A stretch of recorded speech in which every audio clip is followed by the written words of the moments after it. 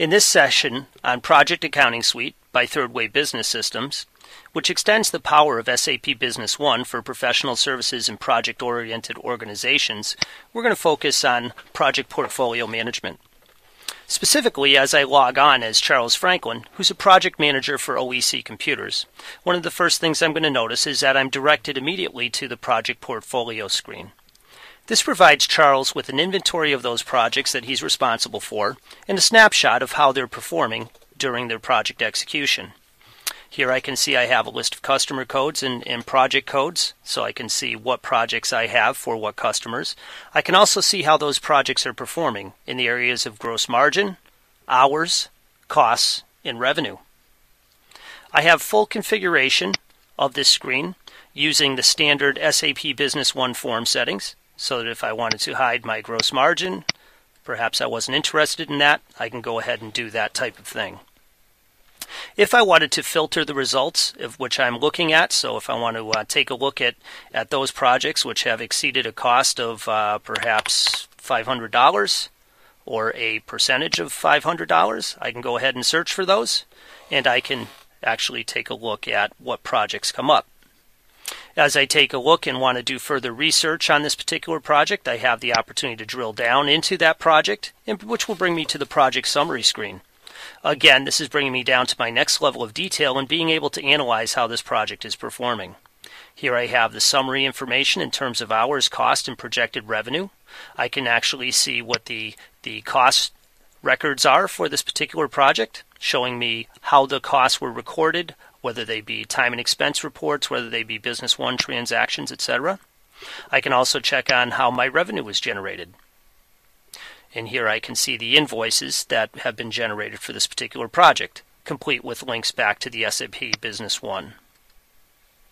As I take a look a bit further down into the project, I can take a look at the various elements of the work breakdown structure and see how those are performing. So here I have, again, that same cost and hours and revenue, actual versus budget analysis, so that I can really analyze that down at the detail level. If I want to run some reports, I can go ahead and right click right on this form. With the integration of Third Wave's Crystal Wave product, which allows for the publishing of reports on forms via a right click or user queries on a right click on a form, as well as its innovative methodologies for delivering content either via fax or email, I have this capability of being able to run reports directly from either SAP Business One forms or from user forms. Here I run a quick project analysis. It gives me a little bit more of the detail associated with this particular project. And here I can see the full work breakdown structure and how my budget versus actual analysis is running.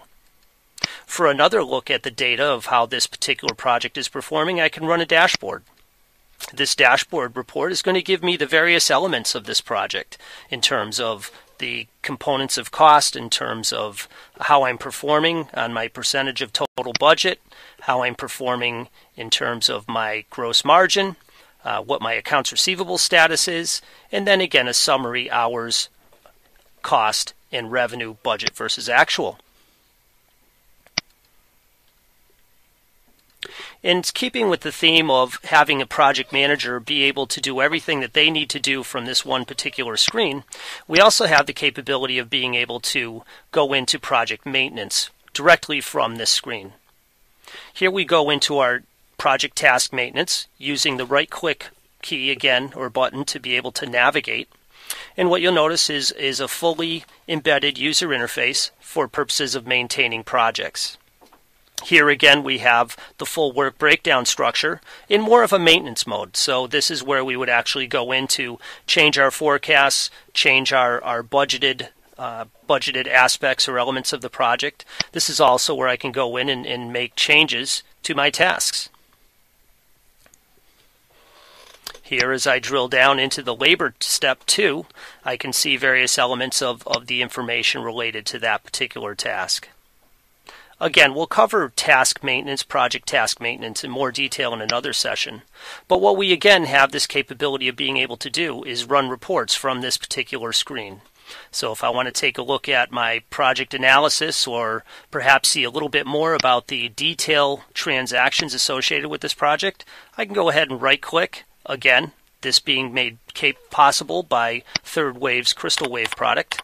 And then I can go ahead and, and select the date for which I want to run this report. So my date range will go for the month of August.